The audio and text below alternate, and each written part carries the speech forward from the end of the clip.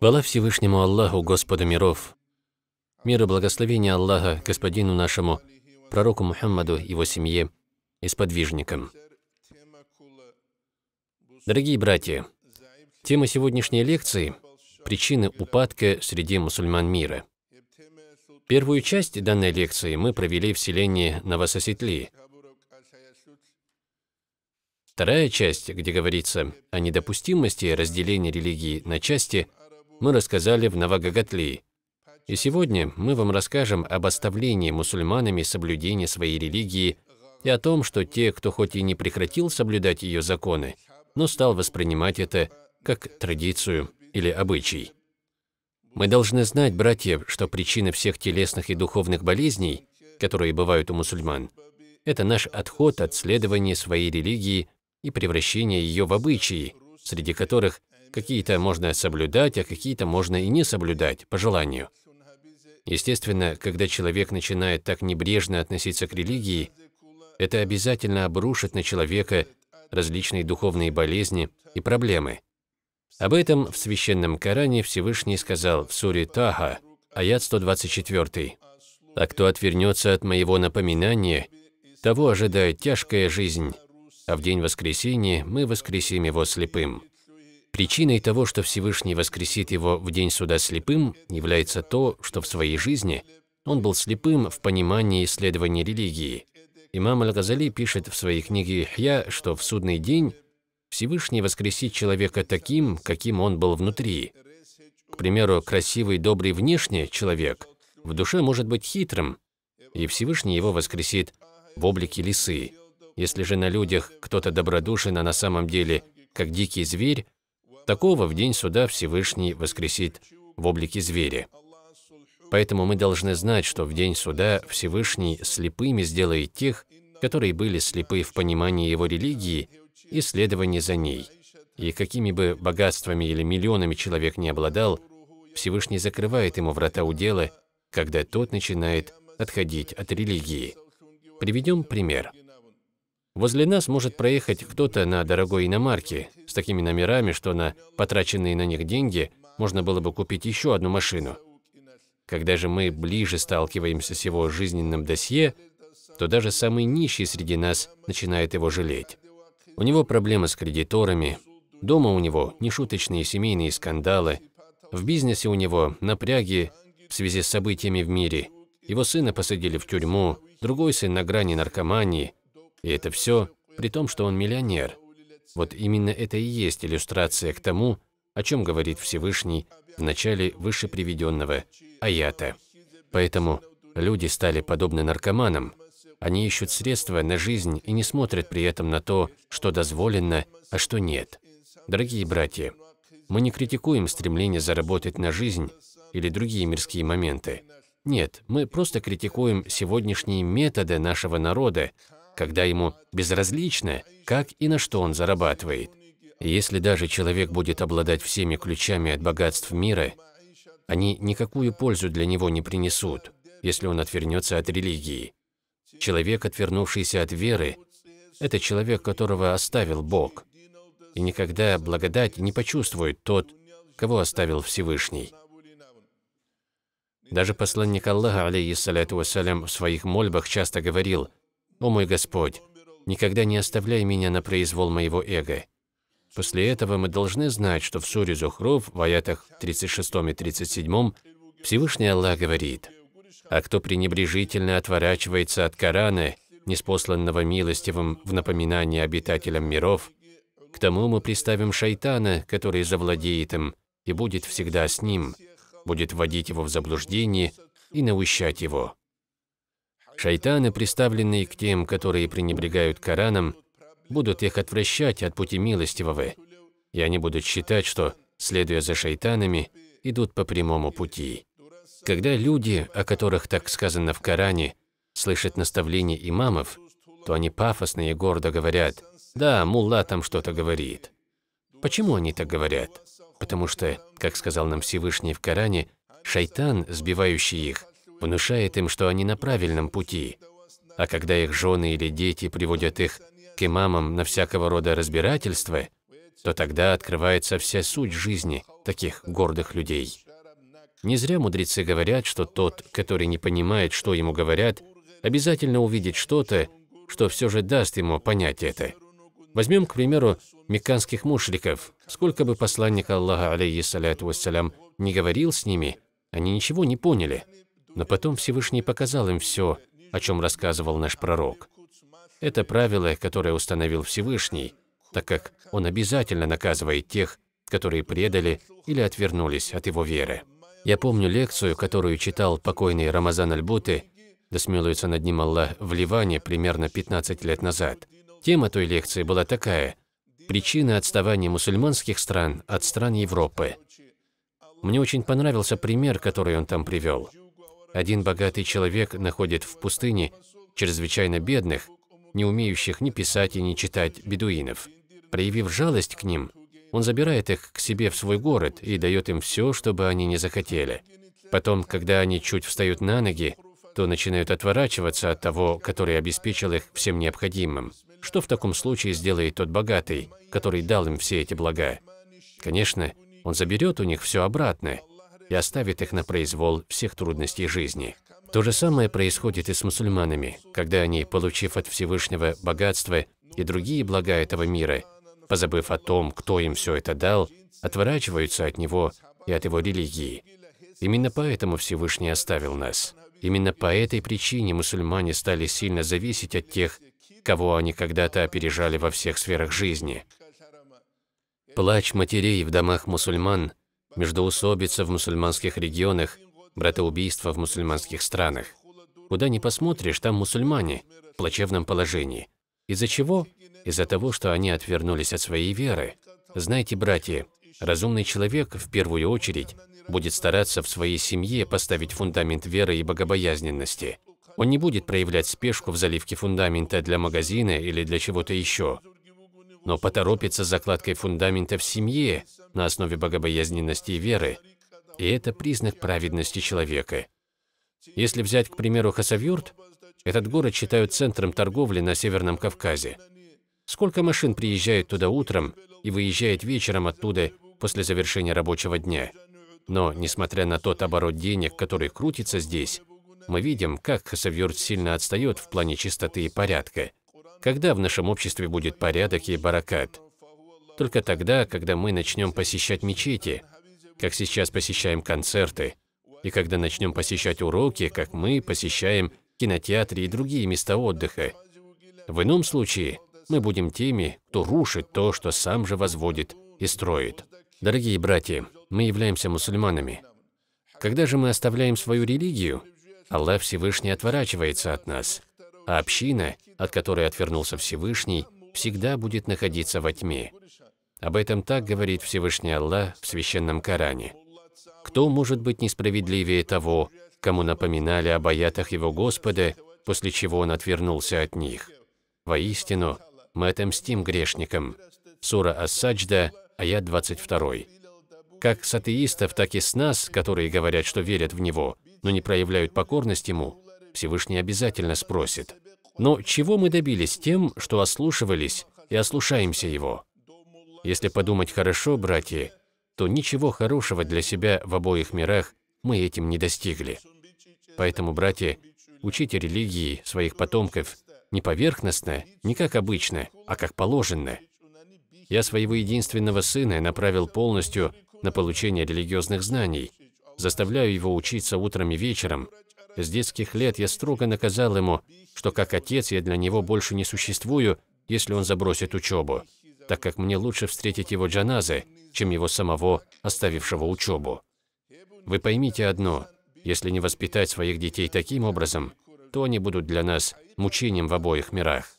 Итак, Всевышний Аллах в Коране называет глупыми тех людей, которые отвернулись от Него, Далее Всевышний говорит в Коране о тех, кто отвернулся от его религии, как о несчастных глупцах. Что же с ними? Почему они отстранились от наставлений Корана, словно дикие ослы, бегущие от преследователей? Сура Мудаthir, аяты 49-50. Мусульмане, буйные от сытости, не уступающие друг другу ни в чем, готовые чуть что наброситься на старших и на младших, и такому позору не было места в жизни наших предков. Что же привело нас к этому? Конечно, сытость, дорогие братья. Плодородная земля и климат, подходящий для занятий садоводством и скотоводством, разные государственные дотации, которые люди получают с помощью подлога документов. Конечно, они будут буйными, гордыми и безжалостными, так как получают много денег без особого труда и пота. Предвидя все это, посланник Аллаха, алейхиссаляту вассалям, говорил, «Несчастен тот, который стал рабом динара и дирхама». Никогда не будет счастья и благодати в тех вещах, братья, которые наш пророк, алейхиссаляту вассалям, назвал несчастными. Также мы должны знать, братья, что Аллах Всевышний в Коране так угрожает наказанием тем, кто отвернулся от его религии. Если они отвернутся от моей религии, то есть мекканские мушрики, то скажи им, что ты уведомляешь их о наказании, которое будет неспослано Всевышним, как было неспослано народом Самуда и Ада. У Всевышнего разные методы наказания. К примеру, давно, когда я еще учился в школе, редко можно было услышать, что кто-то серьезно заболел. В наше же время пойди в школу и проверь состояние здоровья школьников. У каждого четвертого, если не третьего, можно найти разного рода болезни, о которых мы раньше даже не слышали. Почему распространились между нами массовые болезни, о которых до этого не знали? Потому что, когда мы перестали быть покорными Всевышнему, Он не спаслал на нас наказание через эти болезни. Всевышний не наказывает всех одинаково. Фараона Всевышний наказал одним наказанием, Намруда другим, третьих наказал совсем иначе.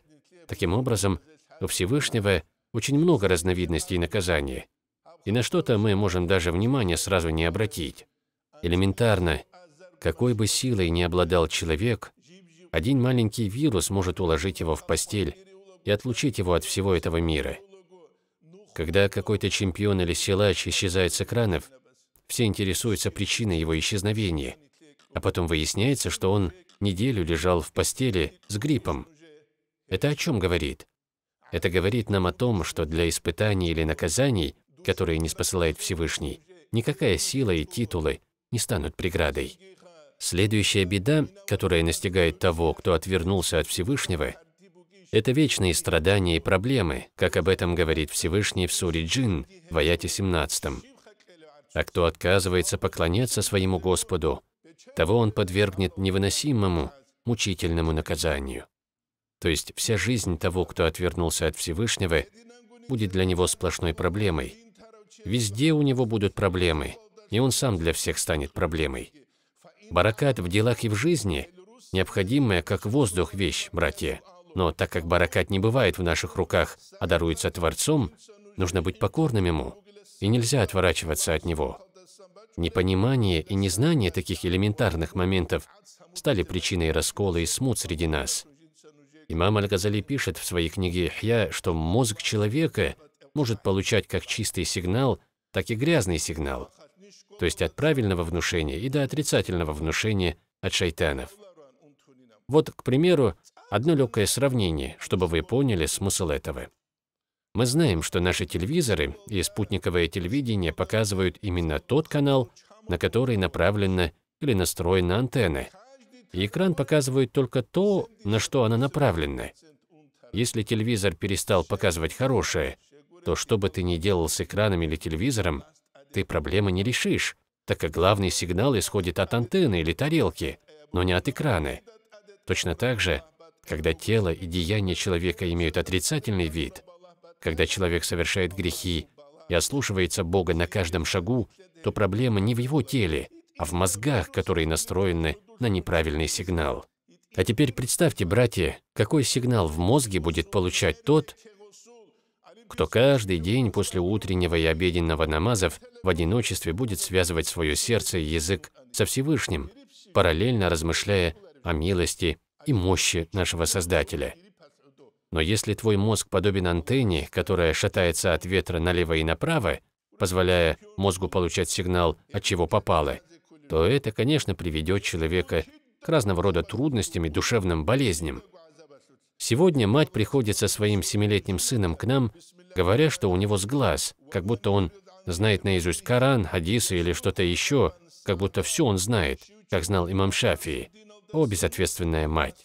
Это не сглаз, а джин, что вселился или охватил его, так как он лазит где можно и где нельзя, в интернете через планшет, который ты ему купила. Не давайте своим детям телефоны и планшеты в раннем возрасте, как вы это делаете, как бы они при этом не плакали. Ведь через это у них появляется открытый доступ ко всевозможному разврату и кощунству. Богословы разъясняют аят, в котором говорится, «Разве не поминанием Аллаха утешаются сердца? Если бы правители или цари знали бы, какое спокойствие приносит поминание Аллаха сердцам верующих, то они за это спокойствие дрались бы, чтобы заполучить его себе. Если же человек отвернулся от религии, то он становится объектом наказания для Всевышнего. Возьмем, к примеру, атеиста. Какое утешение и спокойствие будет в его сердце? На кого он будет надеяться в предсмертный миг? Да он просто утонет в трудностях, что настигнут его перед смертью.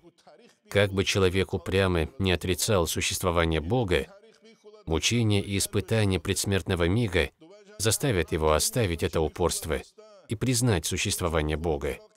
И это момент, в который слабость проявляют все, даже алимы и праведники. Почитайте, что говорили Шафии и другие имамы, когда были смертельно больны. Это говорит о том, что все мы очень слабы перед смертельными агониями. Человек может буянить и шуметь тогда, когда ему это позволяет здоровье или богатство. Но мы должны знать, братья, что сколько бы человек не менял свое сердце или почки, отдавая миллионы, ангел смерти обязательно придет к нему с агонией. Один человек, который жил с нами по соседству в селе, как-то сказал моему отцу, «Как хорошо, Юсуф, что ангел смерти не берет взяток, а то умирали бы тоже только бедняки». Ангел смерти не смотрит, глава ты или имам, шейх ты или олигарх. Он забирает каждого, чей черед приходит. Дай Аллах, чтобы у каждого из нас Он забрал душу, когда она будет полна имана, веры. Также, братья, когда человек отворачивается от религии, он становится абсолютно безразличным. Вот посмотрите вокруг. О чем думают или переживают люди? Мы видим, что они беспокоятся только за свои животы и удовлетворение нужды навса, больше ничего на этом белом свете их не тревожит. Они подобны животным, которые переживают только за свою кормушку. Однажды мне встретились такие прекрасные слова. Человек, который станет рабом своих страстей, не освободится от них даже тогда, когда освободится раб от своего рабства. Человек, который отвернулся от религии Аллаха ради денег, славы или власти, бывает готов совершить что угодно. Почему? потому что подобный человек просто-напросто не верит в допрос, что будет ждать его в день Великого Суда и в последующее наказание. Мы не должны забывать, как мы пришли в этот мир, так же и его покинем. Поэтому мы должны каждый день готовиться к неожиданному уходу из этого мира, очищая свою душу и веру, поминая Аллаха. Когда общество придерживается крепко ислама, то проблемы общего народа резко сокращаются – как об этом говорит Всевышний в Коране, в суре Худ, в аяте 3. «Просите прощения у вашего Господа и раскаивайтесь перед Ним, чтобы Он наделил вас прекрасными благами до определенного срока и одарил своей милостью каждого милостивого». Следующая причина упадка мусульман в мировом обществе – это неправильное понимание ислама и его терминов. Особенно в наше время, когда часто непонятно, что же люди исповедуют вместо ислама? К примеру, отправимся на кладбище. Так там одни противоречия исламу. Не поймешь, куда ты попал, в мавзолей или в кладбище. Если мы не можем проявить богобоязненность хотя бы в вопросах размещения могил, то о чем можно говорить дальше? Ведь территория кладбища – это территория Уакфа, и лишний сантиметр, захваченный там, – это грех, и это знает любой, знающий среди нас. Перед своей смертью Абу-Бакр завещал, чтобы на него надели старый саван, а новый оставили тем, которые останутся жить после него. Просто посмотрите, как мы противоречим им даже в таких элементарных вопросах. Чтобы избежать такого, ислам нужно понимать и принимать правильно. Неправильное понимание и исповедание религии самими мусульманами стало причиной того, что в глазах других упал авторитет ислама. К примеру, возьмем науку вероубеждения. Когда не зайдешь в интернет, один появляется, называя себя ашаритом, другой тут же называет себя салафитом, с третьей стороны приходит еще один и называет себя хабашитом, и все начинают страшнейшую перепалку друг с другом, хотя не разбираются ни в чем. Или же вспомним шариатские вопросы, в которых есть хиляф, или вопросы, в которых у имамов был ичтихад. Вокруг них постоянно ведутся разного рода споры. У меня вопрос, даст ли это все какую-либо пользу? Возвысит ли нашу религию? Никогда не принесет это пользу. Также, братья, пример неправильного понимания ислама – это когда люди неадекватно оценивают других, тех, в чьих чертах проявляется что-то аскетичное. Если сегодня мы видим кого-либо с опущенной головой, то наши люди сразу начинают давать разные имена ему, называя его то Захидом, то Валием. Сподвижница Шефа Абинт Абдулла как-то увидела вялых молодых парней, и она спросила, кто эти люди. Ей ответили, что эти молодые ребята – аскеты, которые отвернулись от Дуни. Тогда она сказала, Умар ибн аль-Хаттаб был таким, кого было слышно, когда он выступал во время ходьбы, ходил бодро, когда бил или наказывал, то тоже очень ощутимо. И вдобавок ко всему этому, он усердствовал в поклонении. В книгах переданы изречения нашего пророка, алейхиссаляту вассалям, где он говорит «Остерегайтесь лицемерной богобоязненности». То есть, посланник Аллаха, саллиллаху алейхи вассалям, призывает нас разбираться, где люди религиозные, а где те, которые лишь показывают себя набожными, хотя на самом деле таковыми не являются. Также популярной среди мусульман стала тактика, которую внедрили наши враги, пользуясь невежеством людей. К примеру, один человек очень любит религию, но ничего об исламе почти не знает. К нему подходит аферист, прикрываясь верой или богобоязненностью, ходит к нему в доверие и предоставляет ему ложную информацию. Бедный Джахиль рассказывает ее другим, те передают ее следующим, и таким образом вся ложь, переданная от того афериста ради какой-то мирской забавы, идет на всеобщее обозрение. Поэтому наша религия призывает нас убедиться в достоверности того, что ты рассказываешь или слышишь, чтобы не появились разного рода сказки и басни, как пару лет назад у нас были в ходу здесь. Мол, в Махачкалу приедет девушка, которая превратилась в крысу, и подобных сказок много. Все, о чем мы рассказываем, должно иметь основу, и у всей информации, что мы передаем, должен быть довод. Почему я делаю такой акцент на этом? Когда я был на лечении в местности Исису, с нами были люди пожилого возраста и один человек совсем другой идеологии. Мы все собирались вечером. Один из стариков пафосно рассказал, что их имам рассказывал на проповеди, как один вали велел сжечь себя после смерти и развеять его пепел по ветру. Такие вещи нельзя рассказывать, братья, ведь шариат же не дозволяет, чтобы после смерти сжигали людей. Поэтому, братья, то, чего нет в шариате, чего нет в Коране, хадисах или книгах имамов, нельзя рассказывать, где попало и как попало. Поэтому в книгах написано, Прежде чем начать говорить, просвещай себя, получая знания. Все это возникает, братья, когда мы понимаем ислам неправильно. А чтобы понимать его правильно, нужно получению знаний отдавать должное. Да дарует Аллах нашей уме правильное понимание ислама.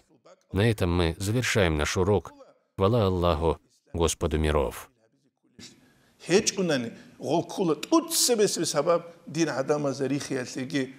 ასლიგი დინ ყვატი ჭოესლიგი ადამო დინო და სთლუთი ასლიგი ალლაჰსნი თეზდა სნარუგეგი ნიტლეცა ნიტლეთ თემანი თულუ ნიჟეტა ზამან თლოლუ გინავლუ უკონ والحمد لله رب العالمين